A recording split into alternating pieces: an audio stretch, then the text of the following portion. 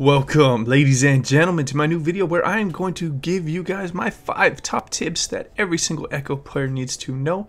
Now, if you're new to my content, my name is Lolfit. I do educational content, I do tips videos, guide videos, and I also stream here on YouTube, so make sure to hit that notification button as well. If you guys have any questions for me or you'd like to chat uh, personally just one-on-one, I'm going to put a link to my Discord uh, down below if that interests you at all. The reason why I really wanted to get into Ekko today is because there's been quite a few uh, people that have requested it. So I'm really open to um, requests. If you have a champion you really want to see me cover, uh, make sure to comment down below, as well as your own Ekko tips. If you want to share um, something, I love to see kind of a, a, little bit of a forum down there below the videos where um, people are just discussing how they've personally found success on Ekko, because some people might find uh, different ways to um, get a win out of Ekko than other people. So um, with that all wrapped up, let's get right into the video.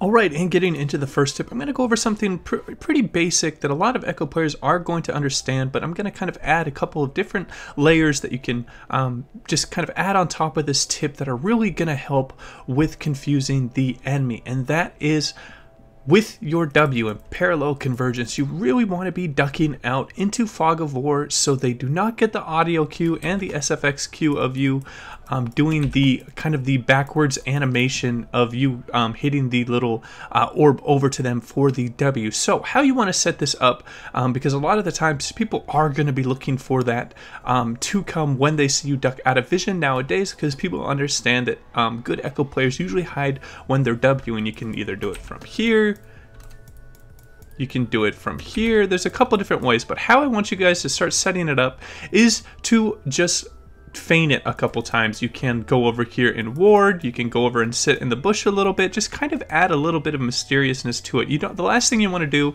um, when you're trying to look to set up your W is only you, every single time you duck into Fog of War, you're throwing your W. It's going to become really predictable, and people are going to start understanding your play pattern, and they're going to start moving accordingly. And the same thing is, uh, you want to kind of track their movement. If they're constantly feigning to this side, you want to kind of lean your W a little bit over to um, the left side as opposed to being right behind it and the same if they're leaning over to the right side so just add this kind of into your repertoire of sometimes do the feign um, fog of war and throwing out a w and then make sure you're leading it to the certain part of the enemy. This is going to make your W as um, least predictable as possible and getting you some of those really strong early game um, stuns, well, early and late game stuns with your parallel convergence and providing you a slow field that is just going to allow some of those early game, uh, early lane kills that uh, Ekko can uh, pull off if you pull off his uh, kit correctly. And uh, if you guys have any questions with these tips, please comment down below and I'd love to help you out. And that will wrap up tip number one. Alright, and getting into tip number two, I want to talk a little bit about his turnaround potential when you are playing Ekko. Because he has a rather large shield on his W and a lot of turnaround potential with his stun and shield out of his W, we really want to take advantage of his ability to quickly turn uh, the tables on the enemy. And this is going to be really um, just just an amazing tool you can start learning when you play Ekko because you are able to get an extremely large movement speed buff when you um, proc your resonance and you uh, hit them with a couple of abilities. You're able to run away quite quite quickly. See this buff right here? And you can lure them really deep into your lane and looking for that turnaround potential with your alt and W. So always look for those enemies that are going to overchase you when you have low HP points. Now this is going to happen extremely regularly in lower elos. If you're playing from something from like iron to gold, people are really going to overchase Ekko because they don't understand that his movement speed that he gains is going to make him extremely elusive as well as the two slows that are coming out of his Q and his W and his dash that is not, um, you don't have to target it at something, you can just um, kind of jump jump over a wall with it is really going to allow him to bait his enemies into a just a really tough position for them. So always look to lead an enemy that is looking to overchase you into your allied champions if you feel like you have um, the upper hand. And one other thing I really want to talk about is with your ultimate and the turnaround potential that you can obtain when you are playing Ekko, you want to look a little bit at the stream that is behind the champion or behind your shadow. You don't always want to be looking at the exact um, place your shadow is because there's going to be a little bit of a delay in between um, when you think is a perfect spot and when your button is going to hit the mouse. So you want to kind of lead yourself depending on how quickly your reflexes is. If you're someone that's like like 16 and you're really you're taking energy drinks you could pretty much do it off your shadow. But if you're like me someone who's a bit older don't have the fastest reflexes you want to kind of press it when you think that it's going to be a little bit ahead of the um, shadow because there's just a little bit of input lag with the older brain. So um, kind of factor those things in along and you are going to start seeing yourself getting quite a few more kills um, if you feign retreat when you have the upper hand in the one-on-one -on -one, because in general when lower elo players see you run, they're like, oh, he thinks I'm going to win this fight. He's not going to turn around. I bet I could win this fight. And you're going to give them a false sense of confidence, and then you're going to clobber them over the head with your ultimate and your superior W placement. Um, just a really quick thing I wanted to talk about. If they're about this far away and you throw out your W, you want to go one, two, three, and then right when you hit and get your EQ down, um, I might have done that a little bit quick, but you should be getting in that stun bubble as soon as that happens. You can make it a little bit delayed, one, two, three, four, and you should be hitting it right there. And it will be uh, just a, a, good timing to have in your head um, because it does it take a rather long time to set this up. It is a basic ability and it is an AoE stun, so they have to make it challenging to land, and that will wrap up tip number two. All right, and jumping into tip number three, I want to talk a little bit about a couple small tips that I think could really help you out. So we're going to go over three small tips within this tip. It's tipception. So with the lane and how it's pointing out if you are starting to see you're playing against something like a Ziggs, a really safe lane, they can wave clear from a really long distance away, and if you try an E and W on top of them, they just W satchel charge away. What you can start doing is start pushing them constantly under tower. This is going to cause them to be uh, first of all it's they're going to be second to any kind of roam that is in the river. You're going to have priority. And secondly they're going to have to use mana if they are not just insanely good at CSing under tower with their autos particularly mages. They are going to struggle if you push them under um, the tower if there's something that they aren't like a Cassiopeia or something. So pushing the lane and just getting lane priority is going to be really strong. Your Q will, after a couple levels and a bit of ability power, you'll be able to one-shot the back line and you'll be able to push extremely quickly.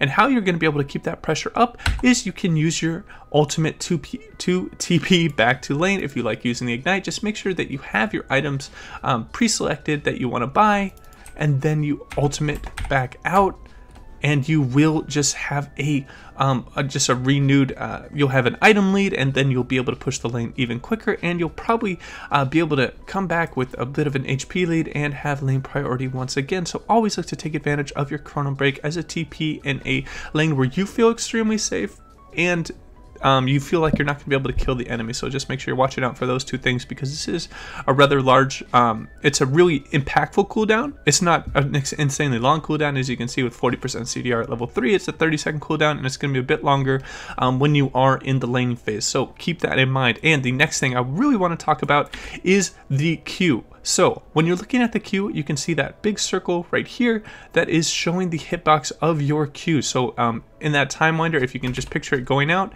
it is going to have that hitbox. So anything that it crosses, it will hit. So as you can see here, it doesn't look like it will hit the enemy champion, but it will hit them because of this hitbox that is displayed. It could probably go even a little bit further back that is displayed in the cursor reticule. So a little bit was a little bit uh, short. So always just keep this in mind when you are playing Ekko is that it displays the hitbox of the Q right here, which is really useful um, for getting that just that max range Q where they don't think it is going to hit them because that doesn't really look like it's going to hit them, but it's just going to be the edge of the pullback that is going to strike.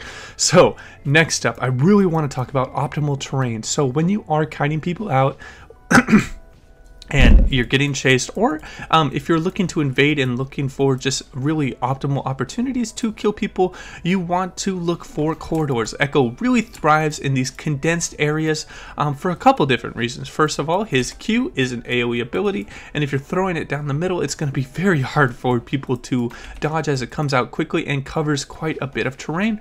Also the w is going to cover up the entirety of the corridor so this is going to be an extremely strong place for Ekko to look look to fight, as well as his ultimate is another AoE, AoE spell. So, for not only Ekko, but for champions with a lot of AoE in general, you always want to look to fight in corridors where you can hit multiple targets and get your team that bit of a lead. And that will wrap up tip number three.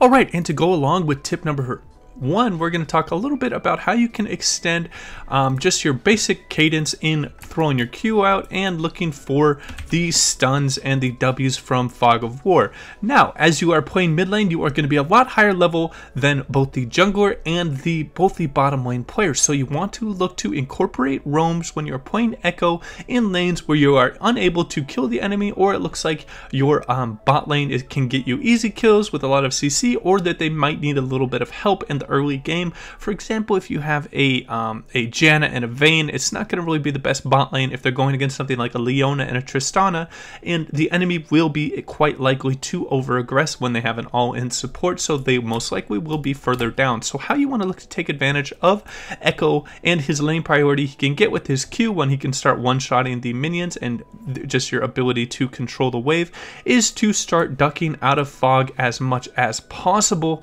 Um, and looking to either throw your W if you think you can catch him with the stun, or look to roam, or you can also set up a vision trap. Now, people, particularly in low elo, they are really trained heavily to try and follow roams because people always bitch so much about, oh, your mid laner spamming my bot lane 50 times, you need to come help us which is usually not the best idea, but these people are extremely trained to follow roams or to at least ping their hearts out, which is going to um, just cause a lot of miscommunication between the teams. So as much pressure as you can put out, whether it's ducking into fog, actually roaming, or setting up these traps that I'm about to show you. So um, most likely, the enemy is going to take this route when they do not see you on the map because they will get a false sense of um, comfort not seeing you there. They think they will be able to take this um, kind of short route. They will not take the extremely safe route of going behind here because they think they will be too late. So how you want to look to take advantage of this, again, we are looking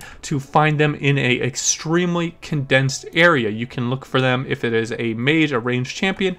You want to let them get as, as close as possible so you do not have to use use your E to gap close on them and you want to be looking to throw your W um, maybe uh, right around here on yourself or maybe a little bit behind if you think they are going to run back which most will be quite common and cut off a escape route from them.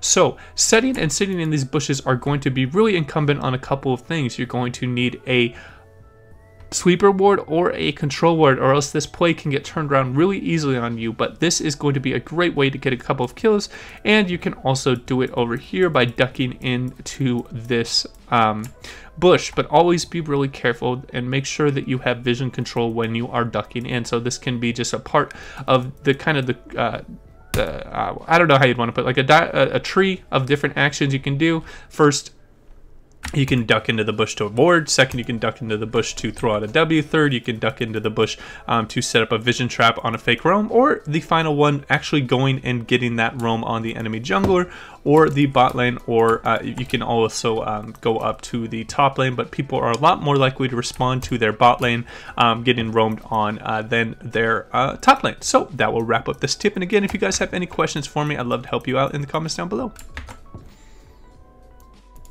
Alright, and for the final tip, I want to talk about something that is extremely important that is not going to be really too obvious for a lot of mid laners when they are playing Ekko and first picking him up. He is a absolutely amazing split pusher for a couple of different reasons. First of all, he has just a great amount of escape if people come and get him. Second, he has a great auto attack reset, and with the changes of your ability power turning into attack damage, look at how much damage these towers are taking um, with the uh, the Lich Bane. It is just going to provide your team with a whole bunch of pressure and uh, around the map when you are playing Ekko because you are going to be able to draw two or three people to you to force them to, um, for you to back off when you are playing Ekko. And as you can see, you just eviscerate turrets. So always look for those sideline opportunities where you're able to push down towers quickly and get a lot of CS in the process because assassins really, really thrive off of getting a lot of resources.